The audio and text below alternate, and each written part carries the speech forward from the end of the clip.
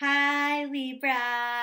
Welcome to your singles love reading for Libra, Sun, Moon, Rising, Venus. Although personally, I think your moon sign is going to resonate the best. So if you don't know your moon sign, there's a link in the description box below that'll kind of help you figure that out. And there's also a video explaining why I think the moon sign resonates the best. okay, so let's just get started. Libra for February 2018.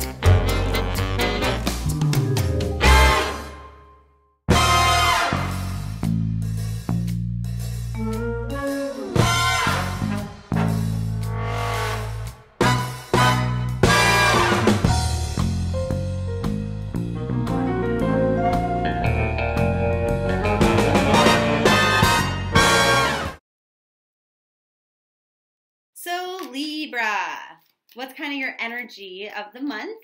And they're saying, like, maybe part of you is like, um, happily ever after doesn't exist. And you're focused on the lack of love that you have in your life. So, essentially, per law of attraction, you're kind of screwing yourself over. Let's be real here. But, um, the thing is is i feel like a lot of you where you're coming to this conclusion and you're like really feeling the lack it's because of um, broken families you know like maybe you have a divorce and then you have children and so like dating is hard because you don't want to bring the wrong person into your life or like you don't want them to meet your kids like that kind of a thing. That's the energy that i'm getting here. They're also saying like well you don't have to make decisions right away. Um, it's that you're being very cautious as to like knowing what is the highest good but then a part of you as a result of like not wanting to end up in like a shit situation attached to somebody or like your kids grow attached to them uh, whether you have them or not, like you just don't want to grow attached to somebody who's not right for you, means that maybe part of you is feeling defeated. And so you're not talking to people, you're not getting to know people. You're kind of just like waiting it out and seeing what's happening. But until you shift your mindset, then it's going to be hard to draw somebody in that is for your highest good. So, for better or worse, what are your behavioral patterns in the month of February? Um, what's going to be helping you out that you're doing? And what is going to be hurting you? Okay, so this is interesting the way that they popped out. Helping you, hurting you. Okay, um, so as far as what's helping you is you're not crazy. Okay, so that's good. Like you come to this mindset eh, for a reason. Okay, but the thing is, is that you're not looking at your long term future so much as thinking about the short term and like maybe how bringing people into your life could interfere with your current flow in your day to day life and maybe starting to date somebody or welcoming somebody in would upset your routine. It would, um, because you're almost to this place where your ducks are all in a row. Like you feel like you've got a good system, you're almost there. And so to welcome somebody in right now might disrupt that harmony. And so you're not wrong about that. But um, the thing is, is if you're like super content and happy and overflowing with joy and love, that's awesome because you're radiating out that energy and able to bring it in. But the thing is, is if you're pushing love away simultaneously because you can't see how they would fit into your life on a day to day level, that you're um, going to end up disappointed because it's saying that you know, if you can find your happiness there in being single, then all of a sudden love can come in for you, but you have to be excited for that you have to be excited to welcome it in. So it's like for some Libras, and I'm not getting this for all of you, so I'm going to actually pull another time um, for the rest of you, but I'm going to say a solid 30% of you loves right there for you, but it's just like, mm, conceptually you don't see how they would fit. And so you're pushing away that opportunity. You're maybe not um, communicating with people who are actually a really good match for you. Maybe you took down your online dating profile or something like that, and your partner, your forever person's right there. They're saying the challenge here is that you're confused about where your priorities should be. What's the most important thing for you right now? And maybe you feel like it's not love, but it's like love's right here. So if you want that too, you can go ahead and grab it. Now, for the other 70% of you, behaviorally, what are you doing right that's helping you out this month?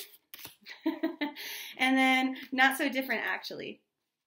And then for the and this is funny because the chances of getting these four cards right here are like are like in the trillions at minimum. Um, so spirit definitely has a message to tell you. and then the negative things that you're doing. Okay. So, um, for the other 70% of you, you're again, you're not thinking about the long term. You're thinking about the day to day life, and um, you're thinking about your goals and how to create better structure, and that's all good for you. This is for your highest good. but you're not talking to the people that that you should be. They're right there, Libra.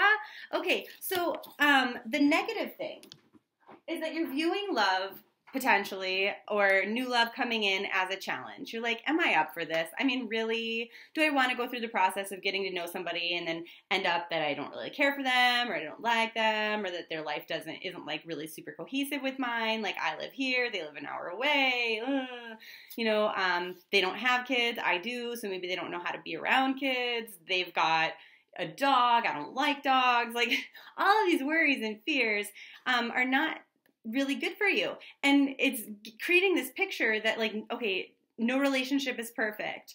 Um, the perfect partner doesn't exist for me. While it's true that no relationship is perfect, the per- perfect partner does exist for you. You're just not believing it. And that's a mindset that um, you have to let go of because they're saying that with this justice card, a very Libra card, you have the scales here. What you think about, you bring about what you believe becomes your reality. And so if you think that the perfect person for you does not exist, you're right.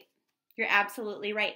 But karmically, this is a really good thing for you to say that, you know, okay, I've had shitty experiences in my past. I've been with people that weren't right for me. But now I'm in a good position in February of 2018 to welcome in somebody who is good for me. I just have to believe that the perfect person for me does exist. And so it's a simple mind shift, a mindset shift, okay? Now, how can you further your own personal growth in order to find love? And they're saying, um, well, you know, that's a never ending process, but you're already working on it. You have to view yourself self as successful already, especially in the areas that you're working so hard on that are distracting you from love. So if you're trying to get more organized, you're trying to excel at your career, stuff like that, view yourself as already successful. Like, you don't need to continue to strive. I mean, always keep striving, but it doesn't have to be the only area of your focus because you're already doing great. Now, um, what are some things that maybe you need to work on or change your process in order to attract more love into your life? And they say um, that emotional balance, like understanding that things are the way they are for a reason at this point in time, but that realistically um, things can continue to be peaceful when somebody shows up for you. Self love does mean um, so this is a card saying you have to do a little bit of self-love, you know, caring for yourself. It does mean sometimes taking rest. It does mean forgiving yourself as well as forgiving others, right? Like you have to be a little bit lenient on yourself. You have to remind yourself that you can't go at 100% um, or you know 110% all of the time eventually you're going to burn out and so when maybe you're not at your best maybe you didn't achieve your daily goals maybe you didn't get to the gym and you wanted to maybe you um, took some time out to read because you just needed a little mom break and you let your kid watch TV. Like let let that go. It's okay. It's okay. It's self-love to be forgiving of yourself. Now, what do you need to let go of in order to attract this love into your life in February? Um, the idea that things don't happen overnight. They absolutely can happen overnight for you. You absolutely can meet that person overnight in February. Um, and, you know, this idea that uh, after I have all of my ducks in a row, after I'm super organized, after I'm you know, I've created a good routine, after I'm making so much money, after I've excelled so much in my career, whatever, after I bought my own home for the first time, or blah, blah, blah. Like, you keep saying it's like you're pushing love backwards a little bit. Like, well, after this, I'll be a good partner for somebody. After this, I'll be a more appealing partner for somebody. After this, I'm more qualified to um, receive the partner that I'm asking for because they have all of these things. No, no, no. No. You can start reaping the rewards of what you're asking for now you just have to believe that it exists. It's actually a very simple thing. Um, well, it's simple conceptually, it's hard to apply. and I just feel like there's something else that Libras need to know here in the month of February. So, what is it, Spirit, that Libras need to know in regards to love? They say that some of you are just tied up to toxic ideas or people um, that kind of although they're alluring in a certain way, um, they're actually not good for us. And so this could be for some of you a sexual relationship. It's like somebody you're really, really attracted to, but ultimately they throw your life off course. You know, so uh, that might be something to let go of. It could be a mindset like I'm used to thinking this way, therefore it's a little bit comfortable for me, but it's actually pretty destructive. That's another thing. Um, they're saying that whatever this is is blocking the flow of love of coming to you. Like whatever you're trying to put out there whatever you're trying to visualize as far as law of attraction there is a blockage for a lot of you where um, there's a completely opposite mindset that's skewing the balance okay? So they're saying um, don't get defensive about this. Some of you are like no there isn't. Yeah there is.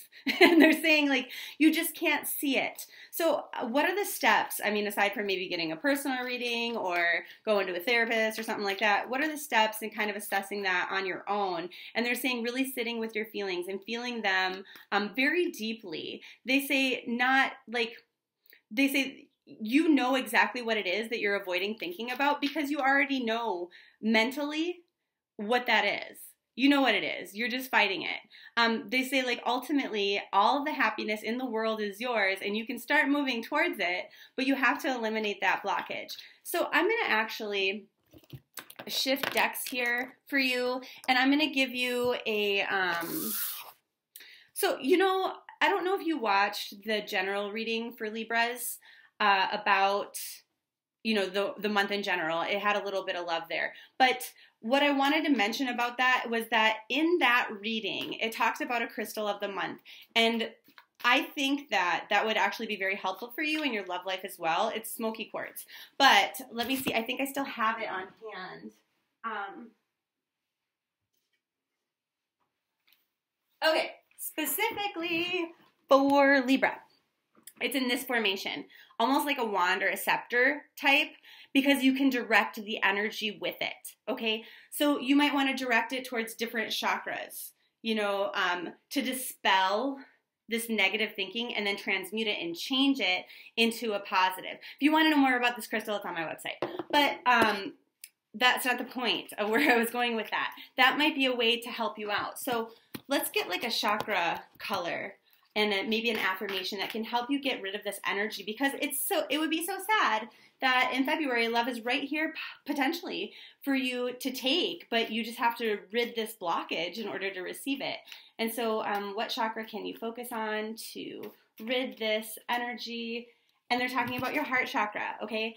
You've got to revitalize it. But it says revitalize your nervous system. And so your nervous system is responsible for the way that you're thinking, right? Your neurons are firing, and then we have these thoughts. And then if we believe the thoughts when they're negative, then they become our sentiment. And then that's the vibration that we're putting out through our heart chakra. And if it's negative, it, it doesn't help.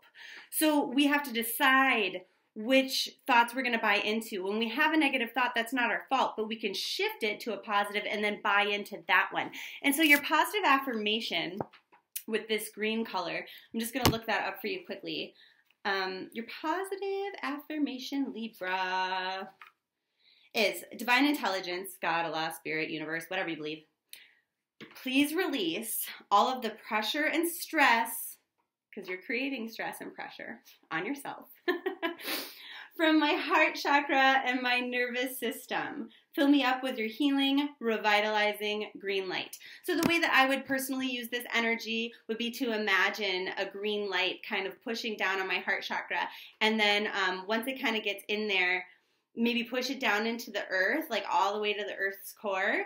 Um, pushing down any negative or stagnant kind of feelings. And then when it gets down there, coming back up as a bright green light through that root chakra, the sacral chakra, your um, solar plexus, and then out your heart, like at least 300 feet. Because maybe, just maybe, your soulmate can connect to that energy and start getting drawn and sucked in towards you. So, best of luck in finding them this February, Libra, and see you next time. Thanks so much for watching my video. Check out tarot-blee-accurate.com for a personal reading. Follow on Snapchat, like on Facebook.